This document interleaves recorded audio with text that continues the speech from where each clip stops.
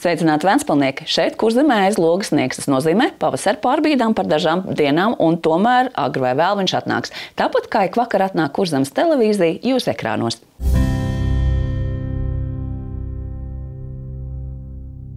Pieļauju, ka ne tikai man ir grūtības atcerēties tos trīs datumus, kad jānodod ūdens skaitītāju rādījumu pašvaldības uzņēmumā Ūdeka.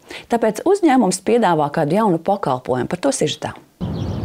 Sakarā ar to, ka Ventspilnieki arvien vairāk sāk interesēties par iespēju attālināt veikt skaitītāju rādījumus, uzņēmums Ūdaga ziņo, ka kopš februāra tas kļūs iespējams privātmāju īpašniekiem. Ventspilī ir gandrīz 1200 privātmāju, kurās ūdens patēriņa skaitītāji atrodas mājas iekšienē, un īpašniekiem savi rādījumi jānodod katru mēnesi no 25. līdz 28. datumam. Tas ir paredzēts piemēram gadījumos, kad skatītājs ir uzstādīts tādā vietā, kad viņam ir grūti piekļūt un nolasīt viņu. Gadījumos, ja cilvēks darba specifikas dēļ, teiksim, komandēm vai kā viņš bieži nav mājās un nevar tos rādījumus nodot vajadzīgajā datumā. Vai arī, ja ir veci cilvēki, kuriem vienkārši ir nu, grūti nolasīt nodotos rādījumus. Un šādos gadījumos piedāvājam tādām privātām mājām uzstādīt attālinātu skaitītāju nolasīšanu. Izskatās apmēram šādi, ka uz skaitītāja tiek uzlikta šāda uzlika, kas reģistrē skaitītāju rādījumus, un pēc tam nu, tas tiek attālināti nolasīti. Šāda veida uzlikas tiek nolasītas ar tā saucamo inkasācijas metodi, tātad apbraukājot. Tātad fiziski tiek apbraukāti nu, tie rajoni, kur ir uzstādīts, un tad viņi tiek nolasīti. Galvenā attālinātās datu nolasīšanas sistēmas priekšrocība ir ērtība, jo vairs nav nepieciešams pastāvīgi ziņot rādījumus katru mēnesi un laicīgi. Skaitītāji nevienmēr tiek uzstādīti vietās, kur tiem var viegli piekļūt, tāpēc attālinātā nolasīšana novērš cilvēciskas kļūdas. Tāpat pēc ūdens klienta pieprasījuma par skaitītāju nomaiņas un verifikācijas pakalpojumiem tagad var norēķināties ar pārskaitījumu. Līdz šim bija uh, tikai viena iespēja norēķināties skaidrā naudā pēc pakalpojumu saņemšanas. Jā. Mēs tagad piedāvājam arī priekšapmaksas iespēju ar bankas pārskaitījumu. Nu, vai arī atnākot šeit uz vietas, Tēlas ielā 65, ir iespējams arī skaidrā naudā veikt priekšapmaksu vai ar bankas karti. Vai palika tā iespēja maksāt uz vietas? Protams, paliek arī tāda iespēja. Nepieciešamību vismaz reizi četros gados verificēt ūdens patēriņa skaitītājus nosaka ministru kabineta noteikumi. Informācija par skaitītāju verificēšanas datumu pieejama gan ikmēneša rēķinā, gan klientu portālā www.klientiem.udaka.lv, gan arī verifikācijas aktā.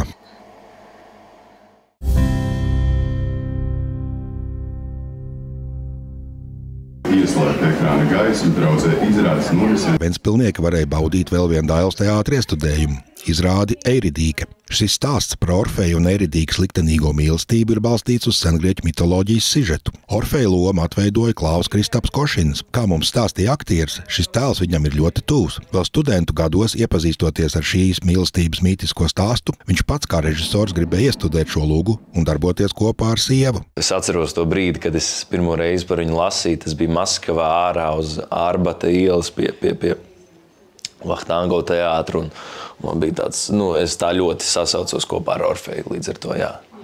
Sanāk, jūs iestudējat kaut kādu studiju laiku? Uh, jā, uh, īsi pēc studiju beigām mēs Ne, nu, gadu pēc studiju beigām mēs ar sievu apprecējāmies, un tad mums pēc trīs mēnešiem bija iespēja kopā padarboties.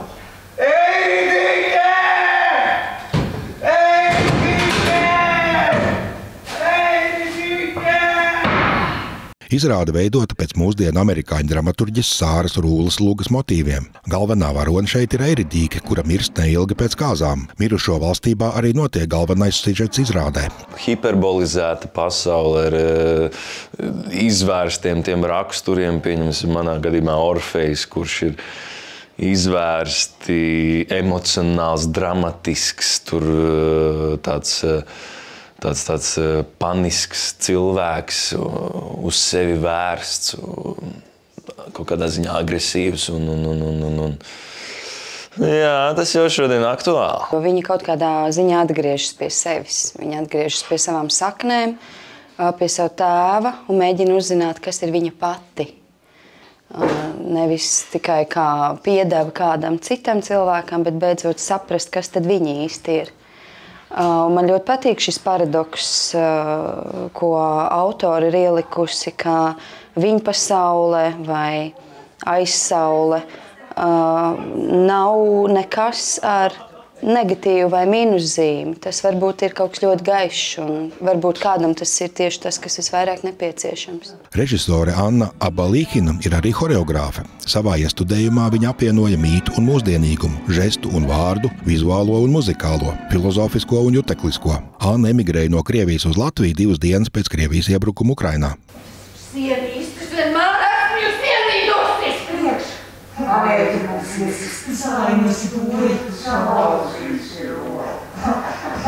Šīs izrādes žanrs ir fiziskais teātris. Pirms tam es nebiju bijusi nevienā iestudējumā, kas būtu tāda veida teātris. Tas man ārkārtīgi interesēja.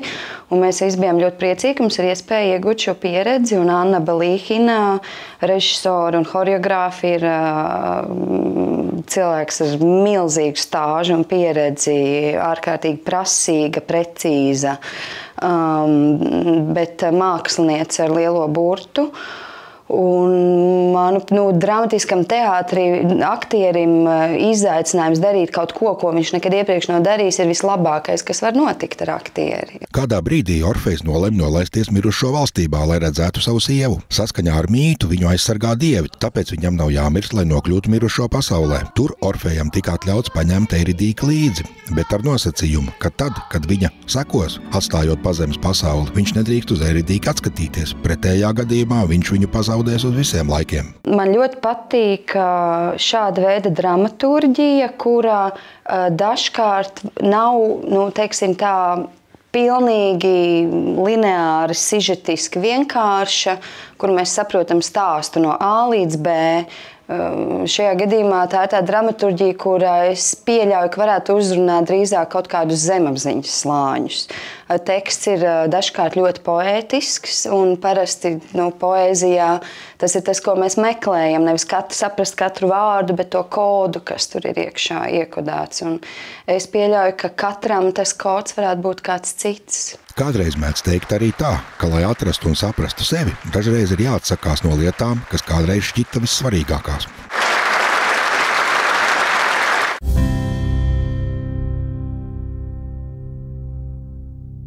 Sporta ziņā šoreiz par zelta medaļām. Notic Latvijas čempionāts svaru bumbu celšanā. Tajā startēja klubs Vēnspils Atlants. Par visvairāk sižetā. Aizvadītajā Latvijas čempionātā svaru bumbu celšanā Ventspilnieki ieņēma otro vietu jauniešu grupā, kļuva par uzvarētājiem junioru grupā, bet starp pieaugušajiem un starp veterāniem ierindojās ceturtajā vietā. Toties individuālajās sacensībās Ventspilnieki startēja izcili. Tas bija Latvijas čempionāts garajā ciklā, un paralēli norisinājās arī Latvijas kausa. Svarabumbu sports paredz divus klasiskos vingrinājumus - grūšanu un raušanu. Garais cikls šos abus vingrinājumus apvieno gan grūšanu, gan raušanu. Tā skaitās viena no grūtākajām disciplīnām. Nu, Jaunākais Vēncpils kluba pārstāvis bija 13 gadus vecais Timurs Maļuševs. Timurs izcīnīja zeltu gan valsts čempionātā, gan Latvijas kausa izcīņā. Sākumā bija viegli, bet pēc tam, kad vēl palika pēdējās minūtes, ar spēku sev motivēju, ka varēšu un turējos līdz galam. Jā, no malas man motivēja un uzmundrināja. Nikolais Sokols pērn kļuva par čempionu pasaules junioru čempionātā. Tagad viņš gatavojas Eiropas čempionātam Parīzē.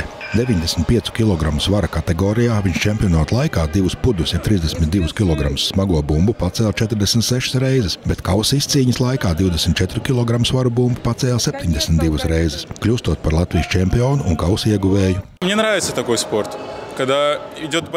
Man patīk šāds sports, kad cīņa notiek nevis ar kādu, bet ar sevi. Tas ir kā uzvarēt pašam sevi. Desmit minūtes ir jāstrādā, un tu viens pats cīnies ar sevi, lai uzlabotu iepriekšējo rezultātu. Tāpēc šis sports man arī patīk. No veterāniem startēja Oļegs Bitkaus, 24 kg svaru bumbu paceļot 38 reizes. Viņam arī čempionu tituls un Latvijas kausa. Šie bija pirmie nopietnie starti Oļega karjerā. Ar svaru bumbu celšanu viņš nodarbojas tikai kopš septembra. Viņa prāt izcīnīt uzvaru palīdz palīdzēja Ventspilnieku nopietnais sportiskais gars.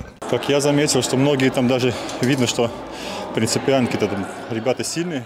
Es ievēroju, ka daži spēcīgi puiši izstājās no distances, nolaid rokas, nepabeiguši līdz galam. Manā situācijā arī tā bija. No pieciem kandidātiem, kas bija manā grupā, tikai es viens aizgāju līdz galam. Pie tam no manis atskaitīja 20 atkārtojumus. Ieskaitīja tikai 38.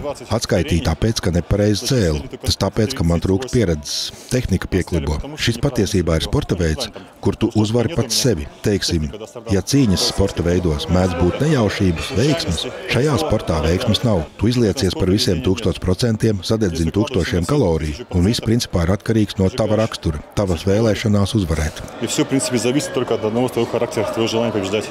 Arthurs Tančins 55 reizes paceļot 24 kg svaru bumbu izcīnīja arī Latvijas kausa pieaugušo kategorijā un kļuva par Latvijas čempionu veterānu vidū. Latvijas kausa izcīņas kopvērtējumā Ventspilnieki bija otrie starp jauniešu un junioru komandām, trešie starp pieaugušajiem un ceturtie veterānu grupā.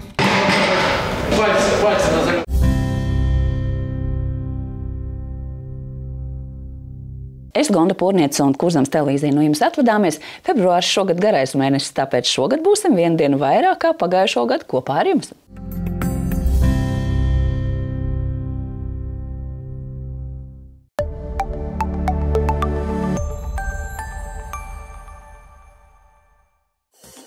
Trešdien, 21. februārī, 2019. portālā Vēnspils.CLV, kā arī kabeļtelevīzijas jāskatus informatīvajā kanālā, Vēnspils pilsētas vadība atbildēs uz iedzīvotāju jautājumiem. Sarunas tēma - Vēnspils valstspilsētas pašvaldības 2024. gada budžets. Uz iedzīvotāju jautājumiem atbildēs Vēnspils valstspilsētas pašvaldības domas priekšsēdētājs Jānis Vitoļņš, Vēnspils valstspilsētas pašvaldības domas priekšsēdētāja pirmais vietnieks sadarbības jautājumos Guntis Blumbergs un Vēnspils valstspilsētas pašvaldības domas priekšsēdētāja vietnieks Aigo Gutmans. Jautājums iespējams uzdot jau iepriekš līdz 20. februāra 2015. Portālā Vēnspils.CLV, kā arī sūtot e-pastu uz ktvt atkursemstv.lv vai arī zvanot darba laikā pa tālruni 636 011 09.